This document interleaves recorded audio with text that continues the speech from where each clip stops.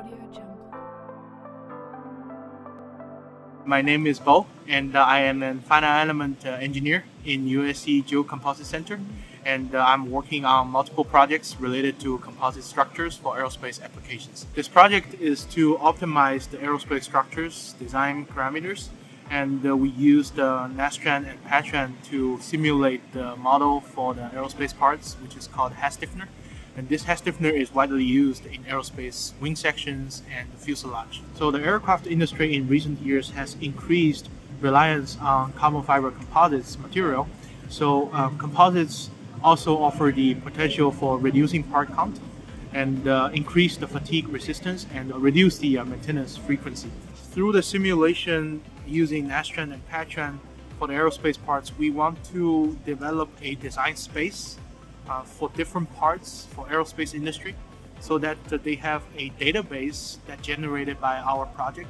They can look into it when they are doing some future design based on the work we have done and use the method that we invented to um, implement these methods into their product design. In a modern airplane, for example, Boeing 787, more than 50% of its weight is composites.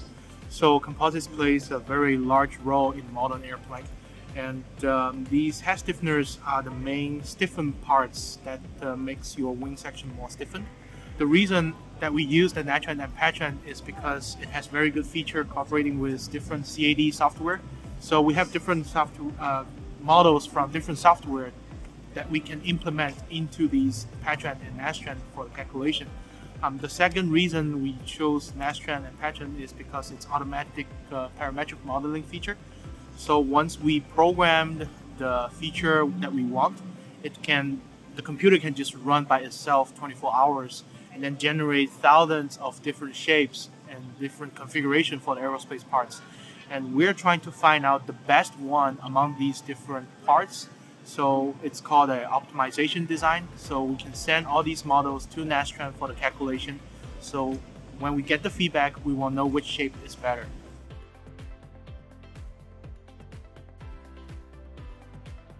Projects can be initiated in a, a couple of different ways. Um, in some cases, um, uh, an agency, for instance, uh, the Navy, um, issues a solicitation. In the case of um, Bo's project, um, this was, as I mentioned, an SBIR uh, project.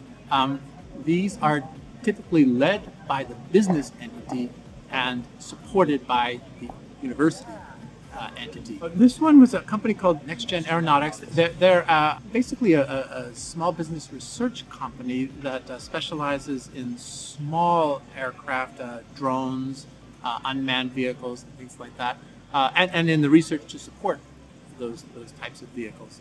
Being able to say that we are proficient and competent in the use of the um, MSC software was extremely important uh, to the success of the proposal and to the project.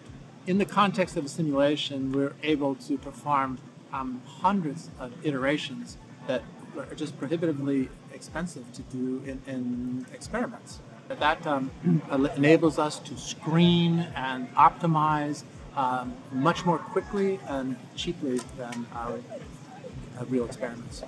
The simulation used in Nastran and Patran actually reduce the iterations of realistic testings and provide a very good guidance for our future design of the hat stiffeners and aerospace parts. Using the simulation allow us to save tons of money, millions, um, because we don't have to spend that much of human resource and material resource and also time resource on all the virtual, the real tests, but instead we can do the virtual simulation in computers to get the results as a guidance for the future design.